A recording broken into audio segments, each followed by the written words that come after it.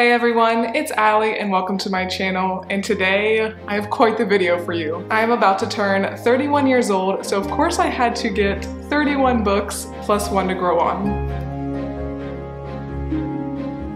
So just a few days after this video comes out, I am turning 31 years old, and what is better to get yourself for your birthday than a bunch of books? Now, I was not intending on getting this many books because I did just pick up 30 several months ago. I had been accumulating those for a few months, but I was thinking, oh, maybe I'll just pick up like 10 to 15 books or so for my birthday, but I went on Book Outlet, my favorite place to get discounted books. Not sponsored, but it is where I get the vast majority of my books. Most of them are priced at just around $5. So before I knew it, I had ended up with 25 books from Book Outlet. I also picked up, I think about four books from Amazon that I had been wanting that I couldn't find at thrift stores or book outlet or whatever. And then I also did get two books from Book of the Month for October. So you guys saw the thumbnail, you know we have a lot to get through. So let's go ahead and start out with the smallest box, book of the month. Also, it's really hot in my house. I'm pretending like it's a chilly fall day, but I might start sweating a little bit. So it's kind of perfect how this worked out. I just celebrated getting 12 boxes from book of the month. And when you reach certain milestones with the company, you get bonuses. So I think once you hit maybe like four or five boxes, you get your second add-on for cheaper. And then when you hit 12 boxes, you get some goodies. And I think you get like a free book of the year and a free birthday book. I think I actually started ordering from book of the month maybe like last July. But the great thing about the company is that you can skip some months. And clearly I haven't done that very often but I think I did skip maybe two or three, so it worked out that it's just about a year and a few months that I celebrated the 12 boxes. But let's look at some of these goodies. One of them is this Book of the Month tote, and this is actually nicer than I was expecting. It's pretty thick, and I like that it has this little book pocket there. And then they also sent these little reaction pins, which I guess you could put on a jacket or the tote or whatever. And then as I said, I did end up getting two books and one of them was free and it was actually not free because it's my birthday month. I don't know if that's gonna kick in next month or if they just missed that and I'm gonna have to email them. not quite sure yet. But one of you guys actually used my referral link for Book of the Month and I was able to get a free book. So if you have not checked out the service yet, one, I would highly recommend because it's just like the best subscription service you can get if you like books, I think. Again, not sponsored, but I do think it is a great service. And if you are buying for the first time, if you would use my referral link, that is a big help to me because it does get me a free book. But I am super, super excited about these books that I picked up. I was kind of debating between a couple this month, but I'm super glad I ended up going with Alix E. Harrow's Starling House because once I bought this, I started seeing people talking about this everywhere. So technically, this did come out a little bit early on Book of the Month. I think it is available everywhere now, but yeah, like technically this came out about a week early on Book of the Month, but this is more of a horror thriller fantasy. And the tagline is, I dream sometimes about a house I've never seen. I should be scared, but in the dream I don't hesitate. And it says, Opal has been obsessed with the Underland since she was a child. When she gets the chance to step inside Starling House and make some extra cash for her brother's escape fund, she can't resist. So spooky house, her brother's trying to escape. It sounds like it's gonna be a really good one. And as I said, I've heard really good reviews already. So that was the October pick, but I did get this free add-on and I was really excited to see that they had Bright Young Women available. This is one that I would have picked up from Amazon this month. I've also been hearing a lot of great things about this book and I've been very, very eager to read it. I'm definitely going to make it a priority this month. One, I just absolutely love the cover of this. I think it's super pretty, but I think this is so cool because I am a huge historical fiction lover as well as a thriller lover. And this kind of combines both of them because this story is inspired by the real life sorority targeted by America's first celebrity serial killer. It's set in January of 1978. So if you are a very, very specific mood reader, I would say I'm a mood reader, but it's more the vibes, but you could wait until January to read this one. So it sounds like the serial killer escapes from Aspen, Colorado, but then the serial killer gets to Florida State University and that's where some killings take place. So unfortunately, yeah, based on a true story, but I think this one is going to be so good absolutely anticipating five stars. All right, now let's move on to the Amazon books. As I said, I'm pretty sure I picked up four from here. This first one was not on my radar at all until I saw one of Darling Desi's videos. And if you don't follow her, I would highly recommend. She makes extremely cozy cinematic videos. She's always got great book recommendations too. But she did recommend this one. It's called Bubble Bubble Toil and Cuddle. And this is just a self-published book on Amazon and I myself have a self-published book on Amazon and I certainly recognize how hard it is to get any sort of traction at all. So I'm very happy to support this author and Desi said that this is just the most adorable cozy book. It's very short too, so I should definitely be able to get through this maybe I'll just read it like right on Halloween. And it involves an elite magical school. I love a lot of like academic kind of books. I think they're just so cozy. But there is a magical school where young witches and warlocks come to hone their craft, witchcraft that is. Evie expects this year to play out as all the others have before it, but when her mother tasks her with finding an ancient relic for the witches' council, things get a whole lot more complicated, especially when she finds herself hunting for the relic with Milo, a brooding warlock she can't stand. So definitely sensing some light enemies to lovers. There'll be some romance in here, I'm sure. But I mean, you just like have to get this for the title alone. Bubble, bubble, toil, and cuddle. And it does say that it is a pumpkin spiced cauldron novella by S. Frasher, so this author might have other books kind of in the same universe. This one has been on my list forever. I was really hoping to get it like at a thrift store,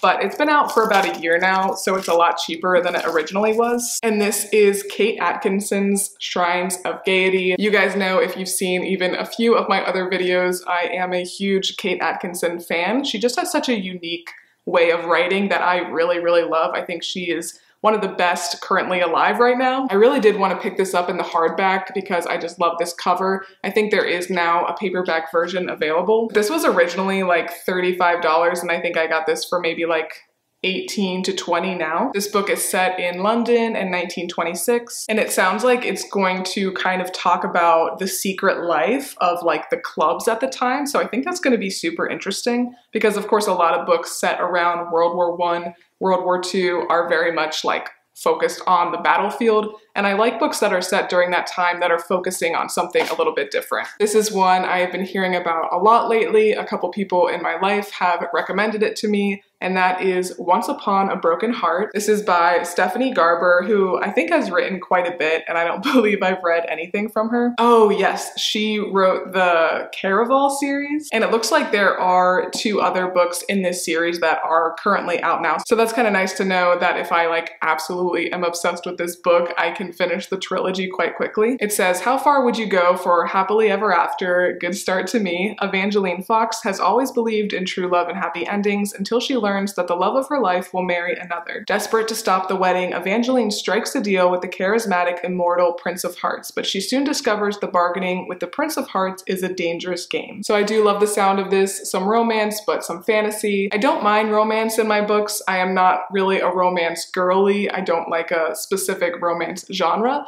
but if it is tied in with fantasy or historical fiction or just really any other genre, I do find it a lot more interesting. So I think I'm really gonna enjoy this. And then lastly, I did pick up A Court of Silver Flames. This really goes along with the last book. A lot of romance, but a lot of fantasy too. I have only read the first two so far. I'll probably finish the series like during winter, January, February. I did buy the collection initially when only the first four were out. So I've got the first four and I figured why not just pick up the fifth one now? I think I got this for only like $9 too. And it is a thick one, my goodness. Yeah, 750 pages. I do think I'm making the right choice in just holding off on finishing until winter when it's super boring out. Okay, now all of the rest of these books are gonna be from Book Outlet. I think I paid like $150 for all of these books, all like 25 or 26.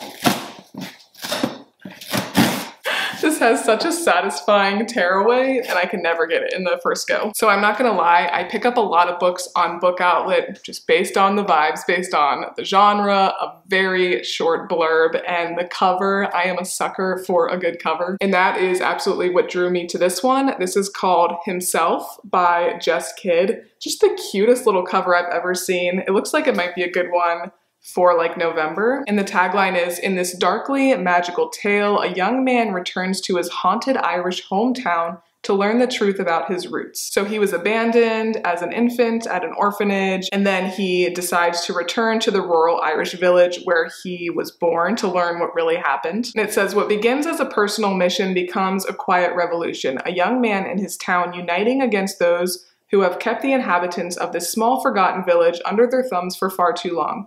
It's a battle for the ages, but Mahoney has the dead on his side. I love that it's set in the Irish countryside. I feel like I've read very few books in that setting, but this cover, man, it drew me in. I just have so many books I want to read this fall. This is going to be an issue. I mean, look at this one. This is Nine Liars by Maureen Johnson, and it says, when everyone lies, somebody dies. So this one I think is a young adult, and I've really been enjoying reading young adult books lately, especially young adult thrillers. And this is set Ellingham Academy. I love when books are set like in academies and schools. So school isn't going well for Stevie Bell. Her boyfriend David is studying in London. Her friends are obsessed with college applications. So it sounds like it is revolving around this 1995 case where students were found murdered in the woodshed. And I'm just realizing that this is actually the fifth book in a series. So I'll have to look and see if these can be read on their own or I might have to get the other books in the series, but it does sound like it's gonna be really good. It looks like the first book in the series is called Truly Devious, so maybe look out for this book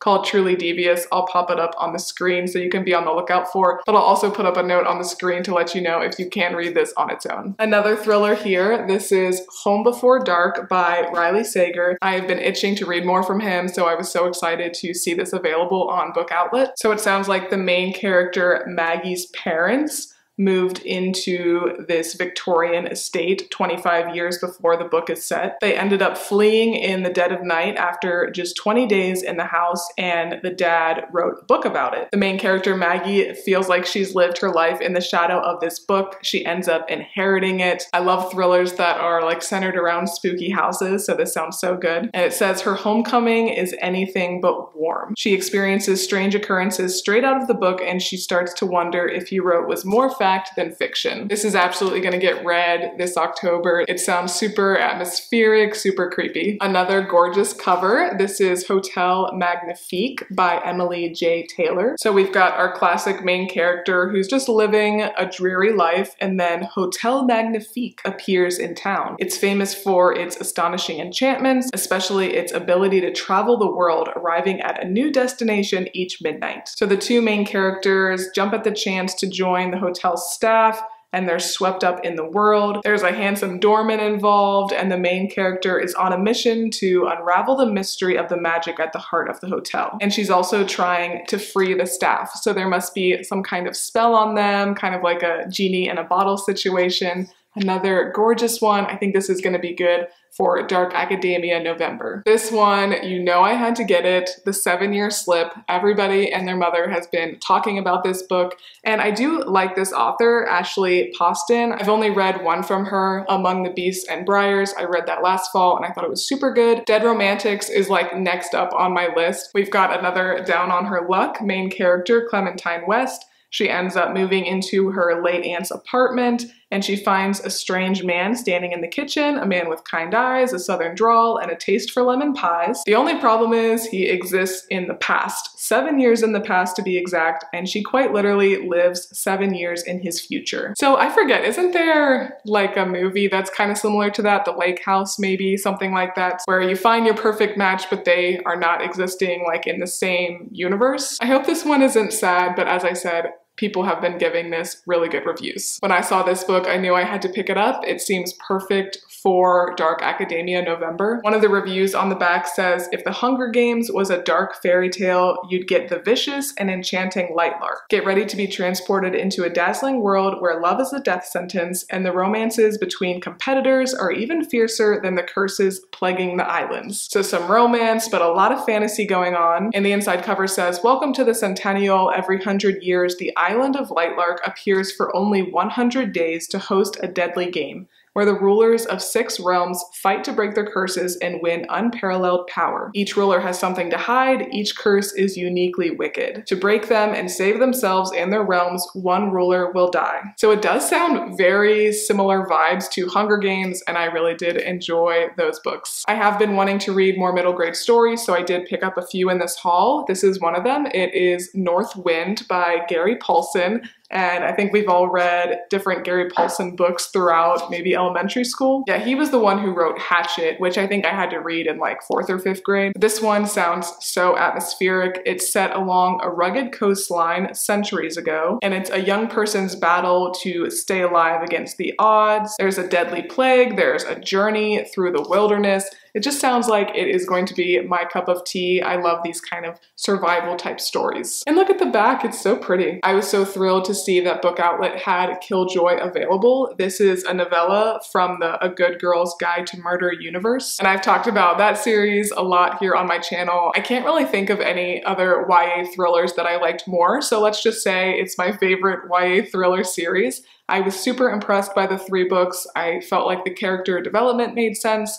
The story was good, it was engaging, five stars across the board for all three books. So I'm sure this is just gonna be a great little addition. And this sounds like it is set at Pip's friend's murder mystery party and she's playing detective, teasing out the identity of the killer. But it's not the only case on her mind. So if you did like the A Good Girl's Guide to Murder series, just know that this exists because I did not know it existed for a long time and it is available on Book Outlet. Here we have All the Missing Girls by Megan Miranda. Megan Miranda has quickly become one of my favorite authors in the thriller genre. I've read three by her so far and I really enjoyed all of them. I thought that they were all, I think at least 4.5 stars or above. And it's always nice to find an author who has like six, seven, eight, nine, ten, whatever books available so you can go back and pick them up. And every once in a while, there will be different ones from her available on Book Outlet. I think literally all the books I've gotten from her were from there. One was from Book of the Month. So it sounds like it has been 10 years since the main character's best friend disappeared, and now there is another girl that's gone missing. It says shocking truths emerge about her neighbors, her family, and what really happened to her best friend that night 10 years ago. And it's got a creepy Ferris wheel on the cover. This one I kind of bought on impulse because I do already have a copy, but it's a special edition and it was a great price. This is Little Women 150th Anniversary Illustrated Edition and it is an absolutely adorable cover. I actually wish I would have picked up maybe even a couple other copies because I think this is a really good gift for someone if you know they really like Little Women. I will say though, there's not like an excess of pictures in here. There's kind of just like little pictures at the start of a new chapter. But the book itself is absolutely beautiful. Taking this out on a picnic, like the most aesthetic thing ever. This is another middle grade book, So Fall. This is Ravenfall by Kalyn Josephson. Strange things always find their way in. It says 13 year old Annabella has never been normal even by her psychic family standards. Every generation uses their abilities to help run the Ravenfall Inn, a sprawling magical B&B at the crossroads of the human world and the other world. But it's hard to contribute when your only power is foreseeing death. And then 14 year old Colin shows up. He's searching for his older brother. And as the two of them team up to find answers, they unearth Colin's family's secret past and discover that Colin has powers beyond his imagination. And it says if Anna and Colin can't stop the creature by Halloween night, the veil to the other world could be torn apart. So this will be a perfect one to also read this month of October. I need like a Hermione Granger time turner to read all these books that I want to read this month and next month. I just decided to go ahead and pick up this book, Immortality, a Love Story, because at a different point, from Book Outlet 2, I think I picked up the first book in this duology, Anatomy. So I probably should have waited until I read the first one, but when you see certain books on Book Outlet and you want them and they're a good price, like I got all of these books while they were having a sale, you just kind of have to go ahead and grab them because they don't have unlimited supplies of books. A lot of them are on there for many months at a time, but other ones that are popular do go quite quickly. So I'm not even going to look too much into this because I don't want any spoilers for the first one. But I know there's romance involved, there's like some fantasy, I think some horror, but this is a young adult duology. This is a middle grade great book, I think. It is Wolf Hollow by Lauren Wolk. It says, despite growing up in the shadows cast by two world wars, Annabelle has lived a mostly quiet, steady life in her small Pennsylvania town. Until the day new student Betty walks into her class. And of course, she's the classic bully, and though her bullying seems isolated at first, it quickly escalates, and she starts targeting poor Toby, who's a reclusive World War I veteran. And as tensions mount in their small community, Annabelle must find the courage to stand as a lone voice for justice. This one might be a little bit sad, but I remember I did pick this up because it was a Newbery honor book. So it'll probably be moving, sad, but pretty good. This is one that had been on my to buy list for quite a while, the Book of Lost Names, good old historical fiction. They're always facing away on historical fiction covers. I do not know why. It sounds like part of the book is focusing on the main character, Eva, who is a semi-retired librarian in Florida. And then she sees an image of a book she hasn't seen in 65 years. So probably half of the book will be set like in present-ish time time, and then there will be flashbacks to her as a graduate student in 1942 when she was forced to flee Paris after the arrest of her father. And in 1942, she decides she has to find a way to preserve the real names of the children who are too young to remember who they really are, and that becomes the Book of Lost Names. You know it's another historical fiction because they're facing away. We were the lucky ones. This one's set in the spring of 1939, and three generations of the Kurc family are doing their best to live normal lives even as the shadow of war grows closer. And it sounds like the members of the family are each going to be spread to their own areas, so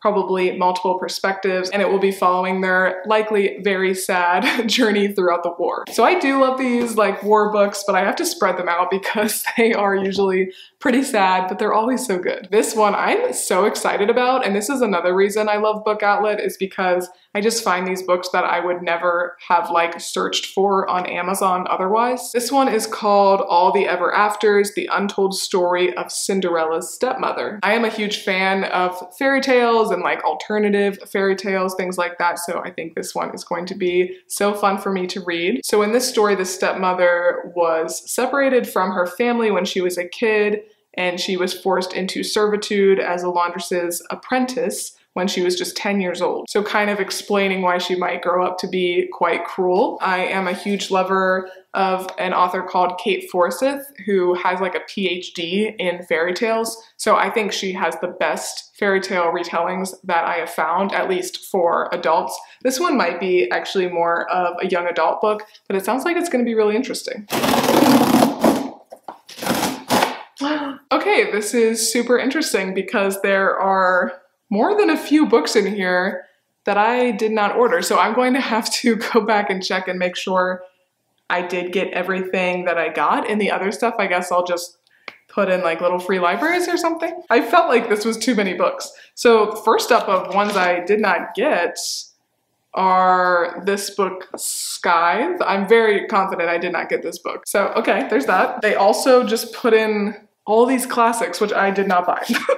so we've got Emma, we've got Persuasion, we have got Frankenstein, and Jane Eyre. So I'm super confused, but honestly, I mean, if I'm not missing any books, should I just do a giveaway? Does anybody want those classics? Because they are all from like the same company.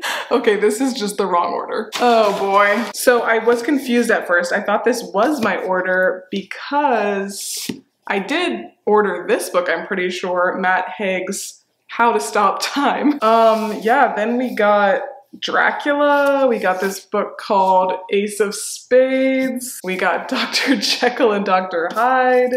We got a random book, the sixth novel of Miss Peregrine's Peculiar Children, Pride and Prejudice, Sense and Sensibility. Okay, so I just counted. It looks like I'm missing eight books. Let me at least get my laptop so I can tell you what I was supposed to get and then I will have to contact them. This is the problem of doing book unboxings on camera. If I would have opened them before, I would have known that. I'm hoping they don't give me a hard time about getting the books because I have had them for a couple of weeks, but I was waiting, of course, to film this video. Okay, so now it's coming back to me. Three of the books I got were from the Throne of Glass series. Throne of Glass 1, 2, and 3. I've heard great things. This is a series that has been on my radar for a while. Some of my friends say they even like it better than A Court of Thorns and Roses, and it's less romancy, which I think I will like better. So I do want those. I also got Legends and Lattes, another book that I've been hearing such great things about. I think it would